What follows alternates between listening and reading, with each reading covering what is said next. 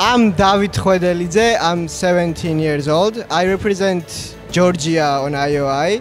It's my first time to participate on this Olympiad. I am Teimurazi Toloraia. It's my first participation on IOI. I represent uh, Georgia and I am 16 years old. I'm Nika Birkadze. Uh, I'm from Georgia and, and uh, I'm 17 years old and this is my third time at IOI and I got gold medal last year. My name is uh, Bakari Gamezardashvili.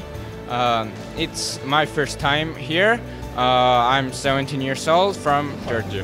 It is very important to participate in this Olympiad as there are many, uh, many strong students around the world and uh, if we get medal here it's very appreciated in the future.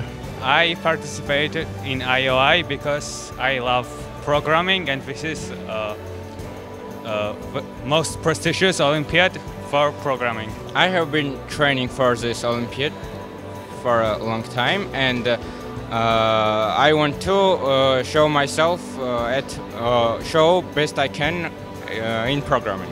Other teams are very well prepared and they have very talented people uh, the most talented people in programming come here on IOI. That's why it's really hard to do well here. And I think about other teams that they are very strong and I wish them good luck. This is my first time in Baku uh, and uh, I really like the city. It's very beautiful. Thank you, Baku. Baku. Madlova, Baku.